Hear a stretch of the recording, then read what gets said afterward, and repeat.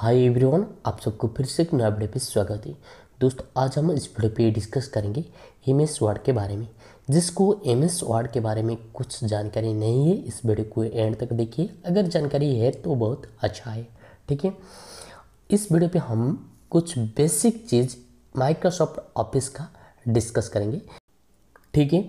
सबसे पहले आपको माइक्रोसॉफ्ट ऑफ़िस ओपन करने के लिए आपको स्टार्ट पे जाना है। ठीक है यहाँ पे आप भी सर्च कर सकते एम एस वर्ड और माइक्रोसॉफ्ट वर्ड आप यहाँ पे वर्ड भी सर्च कर सकते हैं, ठीक है? देन आपको माइक्रोसॉफ्ट वर्ड को सिलेक्ट करना है, ठीक है?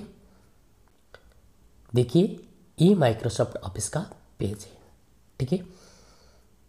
अगर आपको एम एस वर्ड के बारे में जानकारी नहीं है अभी तक, आप जल्दी ही एम एस वर्ड के बारे में कुछ जानकारी हासिल कीजिए, नहीं तो फ्यूचर में थोड़ी बहुत प्रॉब्लम आ सकता। सबसे पहले देखिए फ़ाइल कॉर्नर पे देखिए लेफ़्ट टॉप कॉर्नर पे file home insert page layout reference mailing review view ठीक है। फ़ाइल टैब पे क्या है? पहले इसको मैं यहाँ पे Word two thousand ten explore window ठीक है? माइक्रोसॉफ्ट ऑफ़िस का एक्सप्लोर है। ओके देखिए। एम एस वर्ड ये हो गया फ़ाइल ठीक है? देखिए, इस फ़ाइल के अंदर में क्या क्या है? होम इंसर्ट पेज लेआउट सारी चीज़ यहाँ पे अवेलेबल है। सारे काम एम एस वार्ड पर आप इजीली कैसे कर सकते हैं? पहले आपको कौन सा चीज़ किसके लिए यूज़ किया जाता है? कौन सा टूल किसके लिए यूज़ किया जाता है? अगर आपको पता हो गया तो आप इजीली एम एस वर्ड में काम कर सकते हैं। ठीक है? देखिए फ़ाइल फ़ाइल में क्या क्या है? सेव है सेवाज है open close print preview help option exist recent ठीक है? देखिए सेव क्या है? अगर आप कुछ डॉक्यूमेंट क्रिएट कर रहा है, कुछ फ़ाइल क्रिएट कर रहा है न्यू फ़ाइल क्रिएट कर रहा है तो आपको सेव करना पड़ेगा, ठीक है? तो सेव पर आप क्लिक करेंगे। ठीक है? फ़ाइल का नेम ऐड करके आप सेव करेंगे। ठीक है? सेव। देखिए, मैंने इस फ़ाइल को सेव किया। वर्ड 2010 ठीक है? इस फ़ाइल को मैंने सेव किया। इस प्रकार आप फ़ाइल को सेव कर सकते पहला। ठीक है? सेकंड सेवाज क्या है? अगर मेरे को इस फ़ाइल का नेम न्यू फ़ाइल रख के सेव करना है, ठीक है? तो मेरे को सेवाज जाना है न्यू फ़ाइल नेम ऐड करना है सेव करना है, ठीक है? सेवाज करना है, ठीक है? सेव एंड सेवाज में क्या फ़र्क होता है, ठीक है? सेव एंड सेवाज में अगर आप न्यू फ़ाइल क्रिएट कर रहा है तो डायरेक्ट आप सेव जाना है, ठीक है? अगर आप फ़ाइल सेव कर चुका है, उसी पेज में फिर काम कर रहा है तो आप बस सेव में क्लिक करना है। आपको दोबारा नेम डालने के लिए कोई ज़रूरत नहीं है। आप कीबोर्ड में कंट्रोल एस प्रेस करके भी फ़ाइल को सेव कर सकते हैं। शॉर्टकट की, ठीक है? अगर आप कोई ओल्ड फ़ाइल पे काम कर रहा है, आप चाहते हैं कि इस फ़ाइल को और न्यू फ़ाइल पे सेव करना है तो आपको सेव आज जाना है न्यू फ़ाइल डाल के सेव करना है। सेव आज सेव में बस इतना ही फ़र्क है। ठीक है? देन अपन किसी फ़ाइल को ओपन करने के लिए आप ओपन जाना है, क्लोज करने के लिए क्लोज जाना है। इन्फो फ़ाइल के बारे में इंफॉर्मेशन यहाँ पे देखिए। इसको कहा जाता है कि quick access toolbar customize quick access toolbar ये क्या होता है कि अगर आप किस टूल्स को क्विक यूज़ करना है, ठीक है तो आप यहाँ पे एक्टिव कर सकते, डीएक्टिव भी कर सकते मतलब ऐड कर सकते, रिमूव भी कर सकते। जैसे कि क्विक प्रिंट करना है। New open open recent file ठीक है? आप यहाँ पे quick access tool bar use कर सकते क्विक यूज़ करने के लिए. ठीक है? देन यहाँ पे देखिए फॉन्ट यहाँ पे बहुत सारा फॉन्ट्स है. आप फॉन्ट्स को यूज़ कर सकते बहुत सारा फॉन्ट्स अवेलेबल है इसमें. इसमें देखिए बी बी का मतलब क्या है यहाँ पे कि बोल्ड करना है, ठीक है? देन साइड में देखिए आई थोड़ा सा टेढ़ा है। इटली के लिए इसको यूज़ किया जाता है। देन यू मतलब अंडरलाइन किस चीज़ को अंडरलाइन करना है तो आप इसको यूज़ कर सकते हैं, ठीक है? यहाँ पे आप फॉन्ट को चेंज कर सकते हैं। फॉन्ट का साइज़ को आप यहाँ पे भी बढ़ा सकते घटा सकते साइज़ इसमें आप देखिए वर्ड 2010 माइक्रोसॉफ्ट वर्ड इसको कहा जाता है टाइटल बार क्या कहा जाता है?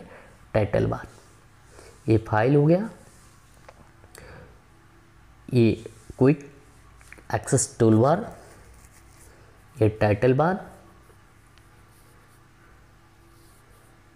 देखिए, सारी चीज़ यहाँ पे इसको रूलर कहा जाता है।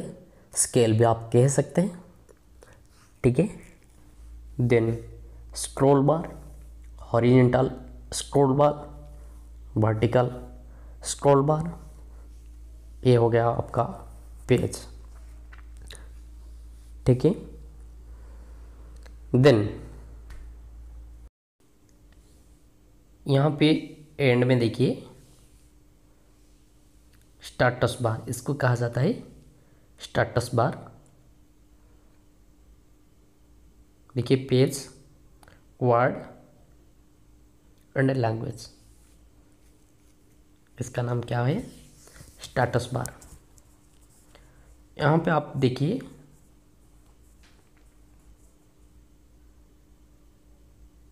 राइट साइड बटन में देखिए। व्यू बटन्स जूम कंट्रोल इसमें व्यू बटन्स देखिए फुल साइज़ इसको कहा जाता है व्यू बटन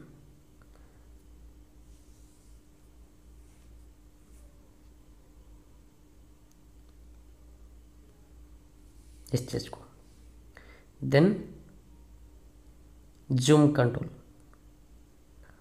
आप यहाँ पे 500 तक जूम कर सकते एंड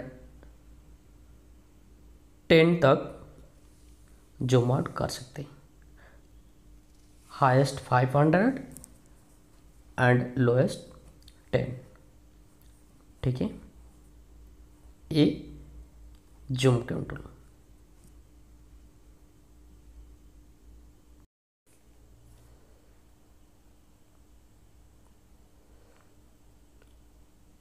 प्रिंट करने के लिए आपको फ़ाइल प्रिंट जाना है। अदरवाइज़ आप कीबोर्ड में कंट्रोल प्लस पी भी प्रेस कर सकते हैं, ठीक है? देखिए, प्रिंट बहुत इम्पोर्टेंट चीज़ है, क्योंकि बहुत सारा पेजेस है, किस डॉक्यूमेंट में किस पेज पे प्रिंट करना है। तो आपको सेट करना है प्रिंट करने से पहले, ठीक है?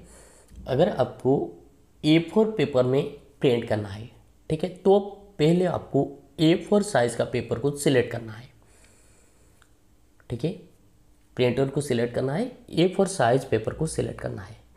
आप चाहे तो मार्जिन ऐड कर सकते मार्जिन रिमूव कर सकते प्रिंट पे क्लिक करने के बाद आपको इस प्रकार का इंटरफेस मिल जाएँगे। कौन सा प्रिंटर पे प्रिंट करना है? पहले आपको प्रिंटर को सिलेक्ट करना है कॉपी कितना पेज निकालना है यहाँ पे कॉपी है ना, आप यहाँ पे नंबर टाइप करेंगे। देन प्रिंट ऑल पेज आप चाहे तो एक एक करके निकाल सकते आप चाहे तो बीच में कुछ पेज को निकाल सकते आप चाहे तो लास्ट में कुछ पेज को भी निकाल सकते देन प्रिंट वन साइड अगर आपको ज़रूरत है तो बहुत साइड पे प्रिंट करना है, भी आप कर सकते ठीक है? प्रिंट कस्टम रेंज ऐड करके आप आपके हिसाब से प्रिंट निकाल सकते हैं। ठीक है? आप यहाँ पे पेज को दो तरीक़ा से प्रिंट कर सकते हैं। एक पोर्ट्रेट दूसरा लैंडस्केप ठीक है? देन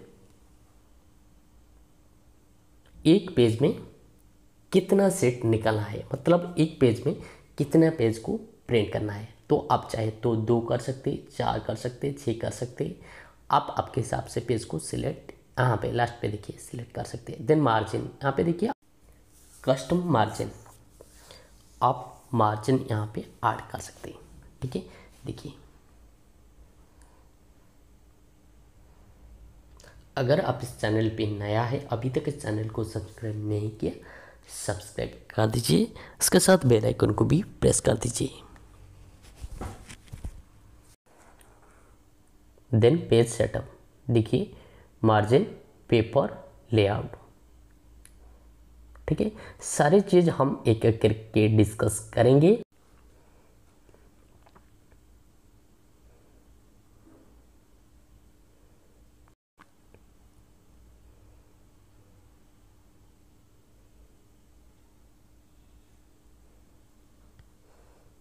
देखिए फ़ाइल यहाँ पे क्या एक कलम में देखिए, सेब सेवाज ओपन दूसरा कॉलम पे देखिए रिसेंट डॉक्यूमेंट तीसरा कॉलम पे देखिए रिसेंट प्लेसेस ठीक है? देखिए, मैंने यहाँ पे रिसेंट पे गया। पहले कलम पे मेरे को क्या कि रिसेंट सेब सेवाज सारे चीज़ शो कर रहा है। दूसरा जो कलम है रिसेंट डॉक्यूमेंट मैंने रिसेंट कौन सा डॉक्यूमेंट में काम किया?